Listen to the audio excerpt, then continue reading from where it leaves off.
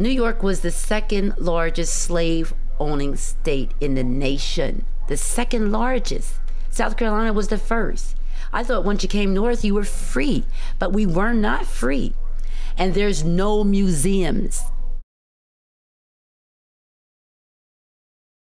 My name is Joy Maria Chatel. I live at 227 Duffield Street. Um, I'm part of the Duffield Street 7, which is the Underground Railroad. We found the tunnels, we took them downstairs, and we showed them the entrance to the tunnels from uh, a house, 223 Duffield Street. I'm an elder at the Prospect Park African uh, Drummers and Dancers Association.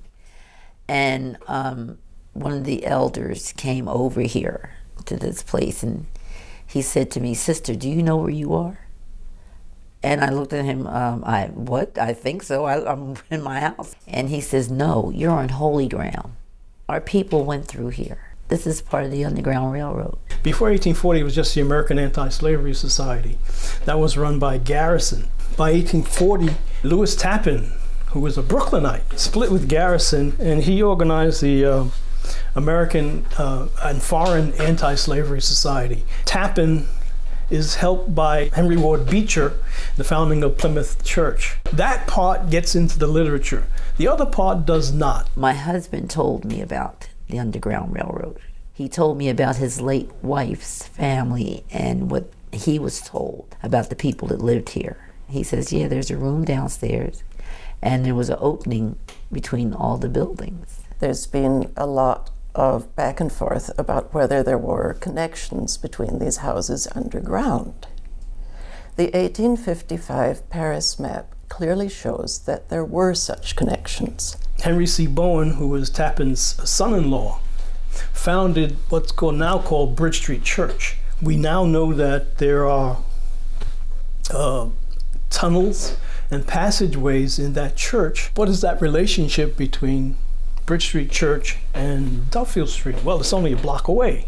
Harriet Lee Truesdale was a fighting woman. Every abolitionist lived in fear. Harriet Truesdale, the owner of this house, and her friend Julia Tappan were both delegates to the American Women's Anti Slavery Convention, the National Convention in Philadelphia in 1838. She was the treasurer.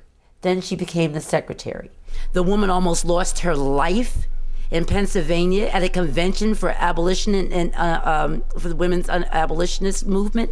They burnt that building down, and that woman was in there, Harriet Lee Truesdale. I would not know about this house if people in the African American community had not had an oral tradition and got up and yelled about it. I wouldn't know that Harriet Truesdale lived here. Blacks aren't entitled to a museum. We're not entitled to anything to commemorate such a horrible thing that happened to us. We can't have anything, especially when the city knows that the abolitionists lived here. This is not an issue of black history. This is an issue issue of American history. And that all of us, all of us should raise our voices.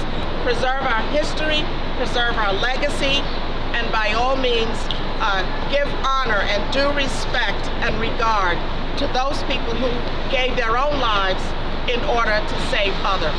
For some reason, Underground Railroad, Fortune Freedom Trail information has been omitted. There's a need for African Americans to be able to have a monument to this terrible time in their history. I would see having institutions of learning that could teach everybody about it.